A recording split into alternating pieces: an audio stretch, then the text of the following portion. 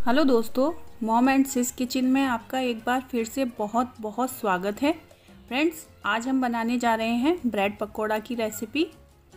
Recipe शुरू करने से पहले फ्रेंड्स, अगर आपने हमारे चैनल को अभी तक सब्सक्राइब नहीं किया है तो प्लीज़ इसे कर दीजिए। साथ ही बेल आइकन दबा दीजिए, जिससे हमारे वीडियो के नोटिफिकेशन आपको मिलते रहें। चलिए रेसिपी शुरू करते हैं। फ्रेंड्स, ये हमने चार मीडियम साइज़ के बॉयल्ड आलू लिए हैं। जिनको हमने कद्दूकस कर लिया है। इन्हीं से हम ब्रेड पकोड़ा बनाएँगे। सबसे पहले हम कढ़ाई गरम करेंगे और उसमें लगभग एक टेबल स्पून ऑयल डाल देंगे। ये सरसों का तेल है, आप कोई सा भी ऑयल ले सकते हैं। ऑयल हमारा गरम हो गया है। अब हम आधी छोटी चम्मच अजवाइन डाल देंगे। अजवाइन से टेस्ट बहुत अच्छा आता है, इसलिए हम अजवाइन डाल रहे हैं। वन फोर टीस्पून जीरा। जीरा और अजवाइन जब हल्का सा चटक जाएगा, ये देखिए, ये चटक गया है। अब हम इसमें आलू डाल देंगे, जिन्हें हमने कद्दूकस किया था।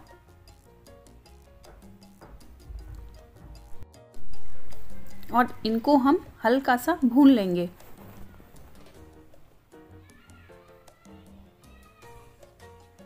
ये हल्का सा भून गया है।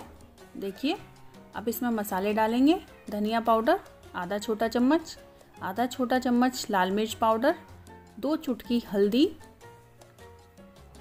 भुना हुआ जीरा। इनको मिक्स कर देंगे। भुना हुआ जीरा भी हमने आधा छोटी चम्मच डाला है। इनको हम अच्छे से मिक्स कर देंगे और फिर से इनको अच्छे से भून लेंगे।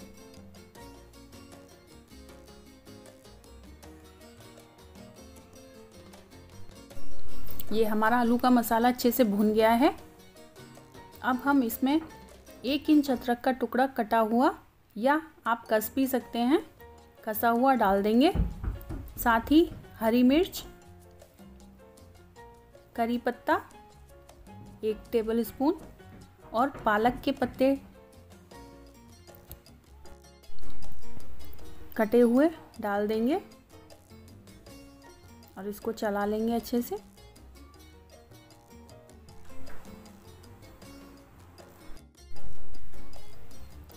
पालक के पत्ते से बहुत अच्छा टेस्ट आता है, इसलिए हमने डाला है। आप इसकी जगह हरा धनिया भी डाल सकते हैं। अब हम इसको प्लेट पर ठंडा कर लेंगे। फ्रेंड्स, हमने नमक नहीं डाला है। नमक और दूसरे मसाले हम इसके ठंडा होने पर डालेंगे। ये ठंडा हो गया है। अब हम स्वाद अनुसार नमक डाल देंगे। हमने एक चम्मच नमक डाली है। अमचूर पाउडर, आधा छोटी चम्मच। भुना हुआ जीरा लगभग आधा छोटी चम्मच। इन सभी को हम हाथों की सहायता से मिक्स कर देंगे। ये हमने चार ब्रेड के पीस लिए हैं। इनको हम इस तरीके से कट लगा लेंगे। इनसे हम ब्रेड पकौड़ा बनाएँगे। ये देखिए इस तरीके से। ये हमने बटर हरे धनिए की चटनी और सॉस लिया है। पहले हम एक स्लाइस पर बटर लगाएँगे। ये हमने दूसरे स्लाइस पर भी बटर लगा लिया है।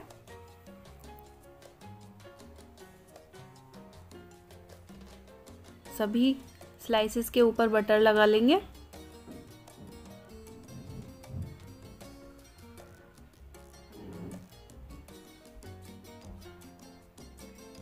अब हम एक स्लाइस के ऊपर हरे धनिए की चटनी लगा देंगे और जो आलू का मसाला हमने बनाया था, उसको दबा दबा के इस तरीके से एक ब्रेड के स्लाइस के ऊपर रख देंगे।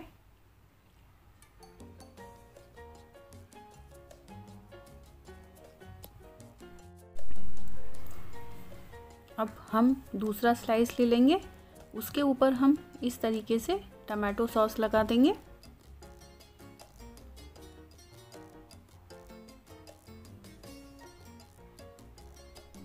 और इस तरीके से इसको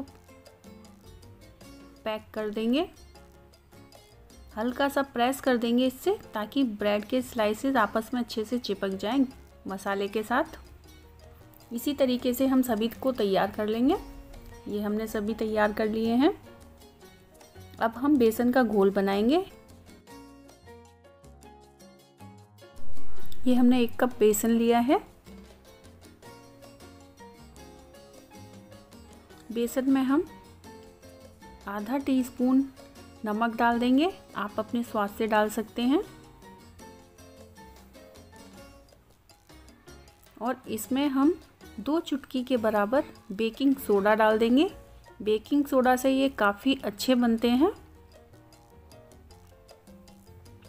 साथ में हम दो चुटकी हल्दी और आधी छोटी चम्मच लाल मिर्च डाल देंगे। फ्रेंड्स, लाल मिर्च कलर वाली ना लें।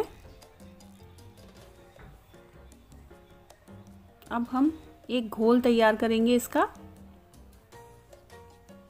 थोड़ा थोड़ा पानी डालकर हम चलाएँगे।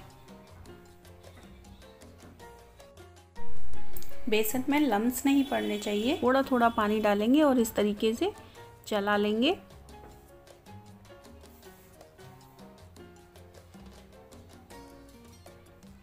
फ्रेंड्स, हमें सिर्फ़ इतना ही पतला घोल चाहिए, इससे ज़्यादा नहीं चाहिए। और देखिए, इसमें बिल्कुल भी लम्स नहीं है। हमें इसी तरीके का घोल तैयार करना है। अब हम एक कढ़ाई गरम करने रख देंगे। अब जो हमने ब्रेड के स्लाइसेस पे मसाला लगाया था, उसको हम बेसन में डिप कर कर इस तरीके से तेल में फ्राई कर लेंगे।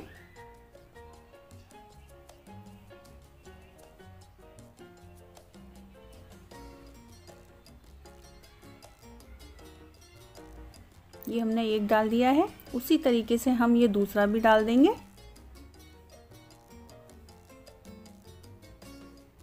फ्रेंड्स, हमें ये मीडियम आँच पर ही सेकने हैं। ना ज़्यादा तेज करेंगे, ना ज़्यादा स्लो करेंगे।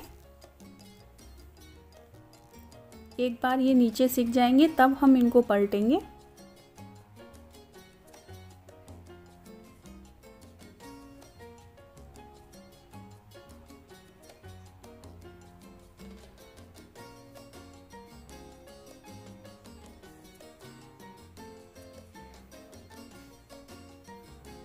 ये दोनों साइड से पक चुके हैं।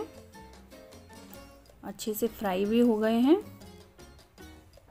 अब इनको हम प्लेट पर निकाल लेंगे। ये देखिए, हमें इनको इतना ही सेकना है, इससे ज़्यादा नहीं सेकेंगे। ये देखिए, सभी को हमने सेक लिया है।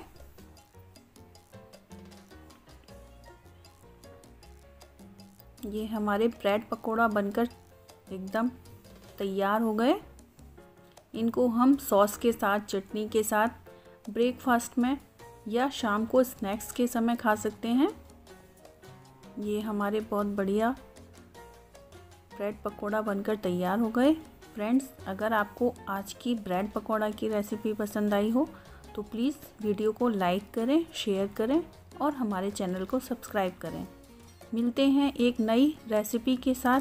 तब तक के लिए थैंक यू फॉर वॉचिंग।